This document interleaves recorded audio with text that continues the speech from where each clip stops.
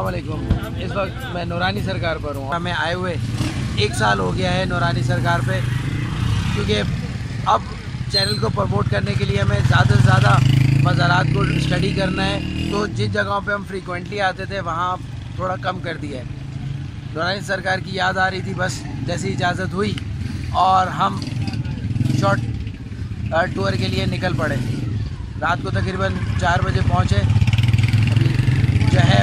आगे मंजिल मकसूद की तरफ़ जा रहे हैं। इस शॉर्ट टूर में मैं आपको जो है वो नूरानी जिस तेज़ी से तरक्की कर रहा है इर्द गिर्द का इलाका, ख़ास तौर पर मोहब्बत फ़कीर का, वो आपको बताऊँगा और उसके साथ साथ मोहब्बत फ़कीर की जो है वो दास्तान सुनाऊँगा। इसके साथ साथ आगे हम देखेंगे कि कितने एक साल में तरक्याती काम हुए हैं। और यहाँ पर मैंने देखा है फैमिलीज़ भी आ रही हैं और उसके साथ साथ पंजाब से और पूरे मुल्क से लोग जो हैं वो ज़्यारतों का सिलसिला जारी है, जो इन दिनों में अक्सर नहीं होता। बट लॉकडाउन की वजह से ये चल रहा है। आगे देखते हैं क्या होता है। अलैक्म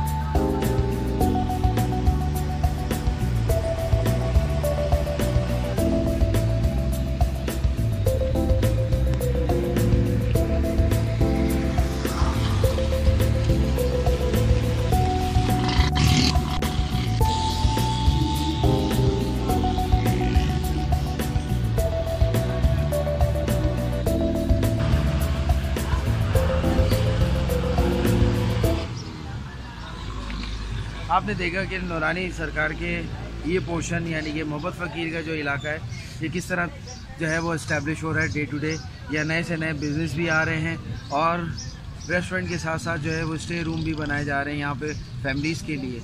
एक वक्त आएगा यहाँ सेवन की तरह जो है बहुत सारे रेस्टोरेंट्स होंगे और वैरायटी ऑफ़ आपको खानों की और दूसरी चीज़ों की मिलेगी। या ज़्यादातर या हंड्रेड परसेंट जो है वो सामान जो है वो कराची से ही आता है। और यहाँ के लोग थोड़े से ज़्यादा पैसों के साथ जो है वो आपको चीज़ें मुहैया कर देते हैं। अल्लाह का शुक्र है कि यहाँ बहुत सारी चीज़ें अवेलेबल हो गई हैं। किसी ज़माने में ये चीज़ें नहीं थी। इसके साथ साथ अभी आगे चलते हैं और आपको बताते हैं कि मोहब्बत फ़कीर के मज़ार को दोबारा रेनोवेट किया गया है। उनकी डिटेल देते हैं।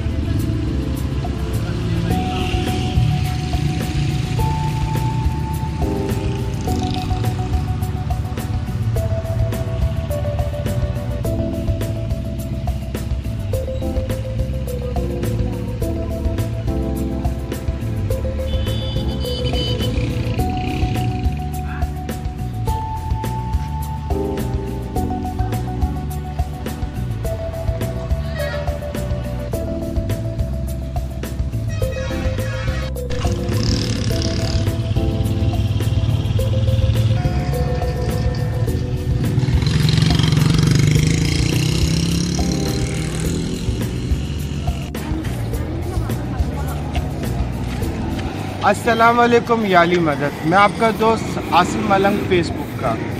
जब से नूरानी सरकार खुले हैं और यहाँ पे आने के बाद पता लगा है कि यहाँ पे नए होटल खुल गए हैं, रूम खुल गए हैं, रूम बन गए हैं। आप अपनी फैमिली के साथ यहाँ पे आके स्टे कर सकते हैं।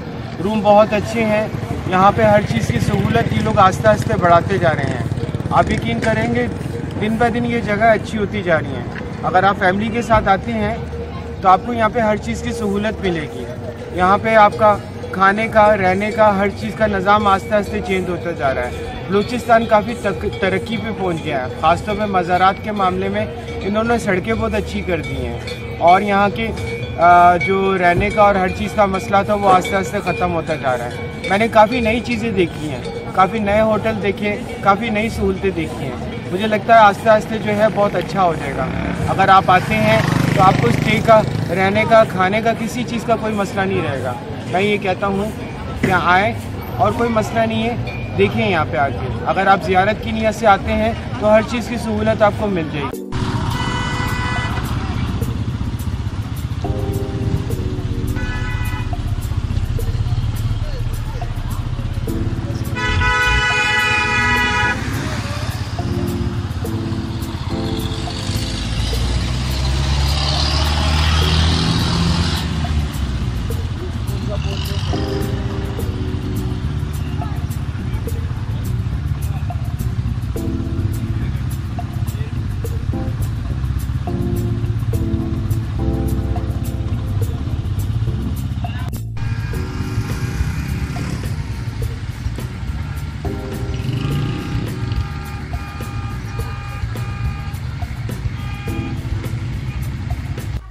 वक्त हम नौरानी पे हैं और नूरानी के जो सबसे ख़ास व ख़ास शागिर्द हैं मोहम्मद फ़कीर, इस वक्त मोहम्मद फ़कीर के इर्द गिर्द के एरिया में हैं।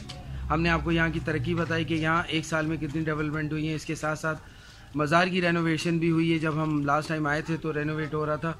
अब किस स्टाइल में किया है, क्या चीज़ वहाँ नई लगाई गई है और कौन सी चीज़ों को हटा दिया गया है, उसके बारे में बताएँगे और इसके अलावा मोहम्मद फ़कीर के वो राज आपको बताऊँगा, जो शायद ही आज तक किसी ने आपको बताए होंगे।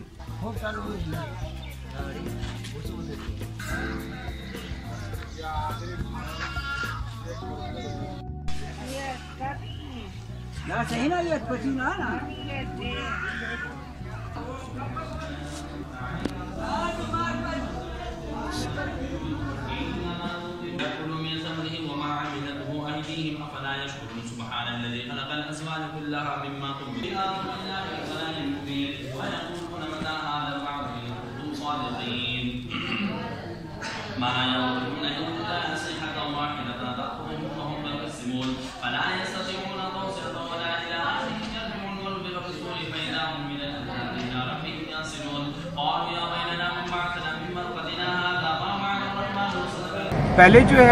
यहाँ पे कच्चा रास्ता था जो मोहम्मद फकीर से स्टार्ट होता था अब जो है यहाँ से चाइना कटिंग के बाद एक नया रास्ता खुला है उसमें से 20 परसेंट जो है वो रास्ता कट गया है बहुत अच्छी गाड़ियों की सहूलतों का रास्ता बन गया है। पहले हमेशा जो है, मेले पे हमेशा रश में गाड़ियाँ फंसती थी। अब वो सिलसिला जो है, वो आस्ते आस्ते ख़त्म होता जा रहा है। पे काफ़ी चीज़ों में तरक्की होती जा रही है। अगर आप गाड़ी में आते हैं तो आपको बिल्कुल मज़ार तक जो है, वो आपको सड़क मिलेगी। और बीच में सारी ज़्यारतें जो है, वो आसानी से मिलेंगी। यानी कि मौला अली का कदम उनके साथ जो है, ये सात शागिर्द जो है, वो बीच में आपको रास्ते रास्ते में मिलेंगे। और आप सात शागिर्दों के बाद जो है वो नौरानी सरकार के जो है वो जो है मज़ार तक पहुँचेंगे।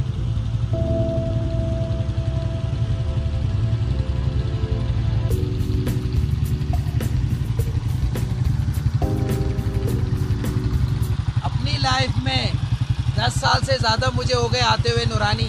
पहली बार मैंने ये रोड बना हुआ देखा है, जो अभी भी पूरा नहीं हुआ, बन रहा है।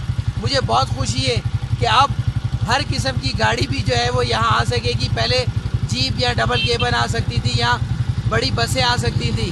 अब हाई रूफ टाइप या दूसरी चीज़ें भी आ सकेगी। ये खुशाइन बात है, ये है तरक्की जो यहाँ पे हो रही है। ये हक है, यहाँ के रहने वालों का और नूरानी सरकार को लोग जानने के लिए ज़्यादा से ज़्यादा आएँ। इससे अच्छी और क्या बात होगी? आगे बढ़ते हैं।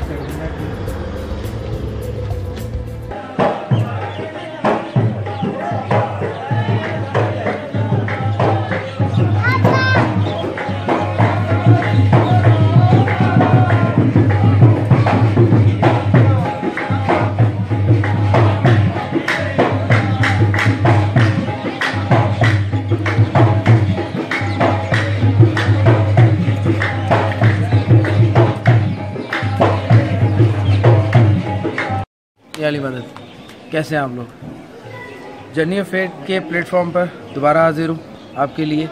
और आज जो है वो नौरानी सरकार की ज़्यारत आपके लिए लेकर आया हूँ। नौरानी सरकार जिस वक्त, जिस खत्े में आए, यानी कि ये ख़त्ता, उस वक्त ये इसका नामो निशान था, ये पाकिस्तान में आएगा या क्या था। ये एक सिंपल सा ड्राई लैंड थी और उस वक्त मुख्तलिफ़ कौमें यहाँ पर बसा करती थी।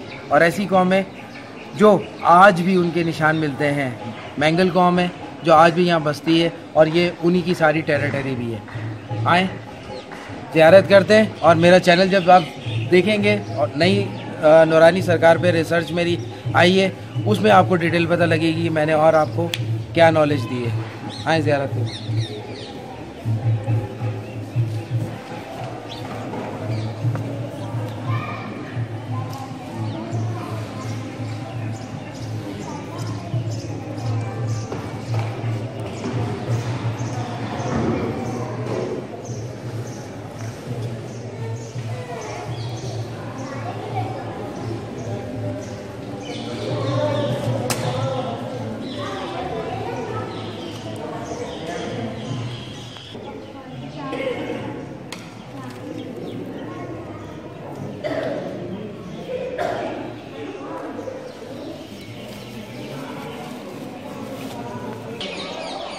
मेरी वीडियो को लाइक और शेयर ज़रूर करते रहा करें। मुझे फॉलो करना है तो फेसबुक के साथ साथ इंस्टाग्राम और जो है वो टिकटॉक पे भी आसिफ मलंग के थ्रू जो है मुझे फॉलो कर सकते हैं। बाकायदा मेरे चैनल को फॉलो करें ताकि आपको वो इन्फॉर्मेशन मिल सके जो ख़ास है, जिससे आपकी रूहानी शख्सियत में निखार आ सकता है आपकी ज़िंदगी में। अलैक्म या अली मदद।